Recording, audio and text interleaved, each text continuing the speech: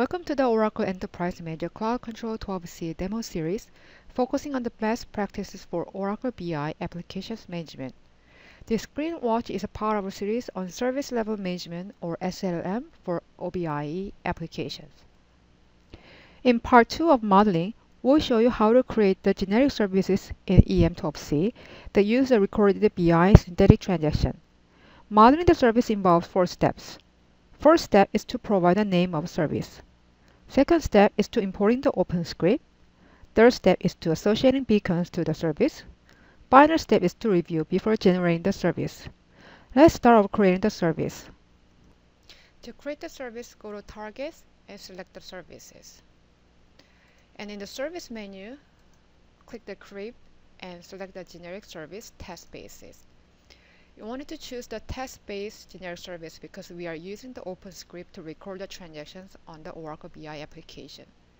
Provide the uh, name of your service. So in this case, I will say BI SLM and select my time zone.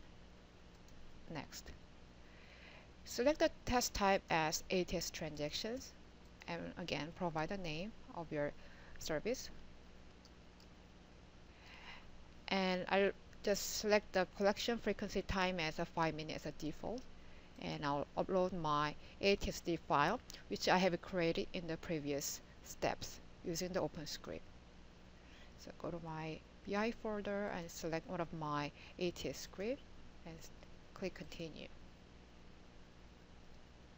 Once the script has been uploaded, you can see that the script information has been populated. Click next Third step is to associate the beacons to your service.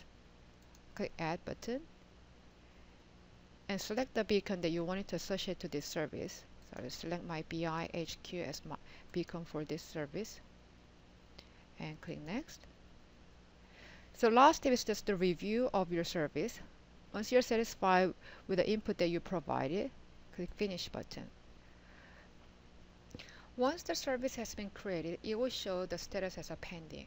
One way you can find that the script is working, you can check by going to administration and select the service test and beacons. In this step, you can run a uh, service test to verify the service is working. So click verify service test and click the perform test. Once the test is done, then it will bring the status of your um, service and what will be the total time and connect time and all the information that is uh, needed for your performance. So we know that the uh, service is working, then we need to create the performance and usage matrix because the creation service only required for step which didn't include the creation of performance or usage matrix. To create the performance matrix, go to generic service menu, administration, and click the performance matrix. Select the Based on Service test, click Go button. In the matrix, you have a multiple choices and you can add one or more or all of the matrix that you wanted to include on your performance matrix. So let's try to add by starting the status and continue. And you can put the threshold or uh, for the warning in critical. And if you wanted to add the multiple uh, metrics, click go and this time I'll choose total time and continue. And provide my warning threshold as uh, 6 seconds now then notice that the unit for total time is a millisecond. So if I want, wanted to put as a 6 seconds for my warning I'll have to put 6000 and for my critical threshold I'll write it as 8 seconds if you wanted to add more uh, metrics you can click simply go or if you're satisfied with the metrics that you have, you can simply click OK. Similarly, if you wanted to um, add the usage matrix, go to Administration and click the usage matrix.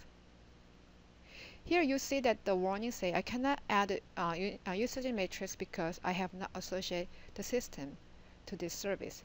So to associate the system to the service, go to Generic Service, Administration, System Association and select the system that I wanted to associate to my service. So for the system, I select the target type as Oracle BI instance and select the one instance that is associated with this service. Click select. Now the system is associated to this service, I can start to create a usage matrix based on this system. In the target type, choose the target that you wanted to create the usage matrix for. So I'll select the Oracle BI server as my target. And for the metric, I'll choose the CPU usage. And you have also options to choose the uh, use the metric from a specific component or aggregate the metric across the multiple components. Continue.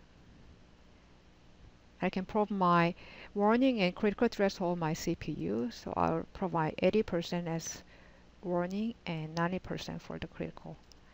Similar to performance, if you wanted to add multiple usage metrics, click Add button and select the one that you wanted to create the uh, usage matrix for.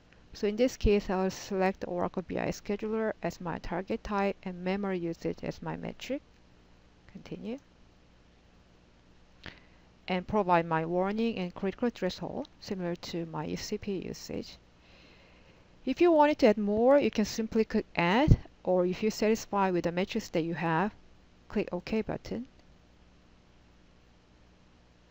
Once the performance and usage matrix has been created and have the service been up and running for a while, you can check the performance and usage matrix by simply going to the Performance and Instance tab. Here you'll see the performance metrics and usage metrics. And if there was a time that the, either of them has crossed the warning or critical threshold, you'll see that under the Incidents and Problems tab down here. This concludes our demo of creating the service and the metrics. The benefit of running synthetic transaction is to manage the system proactively by running tests periodically on various locations and evaluate the performance of the synthetic transaction. Next step is to create the service level agreement based on the metrics that we created in this demo and generate the dashboard. This concludes our demo of modeling the service test. Please continue to part 3 of our demo of creating SLM. Thank you. Thank you for watching this demonstration. For more information, please visit the following website.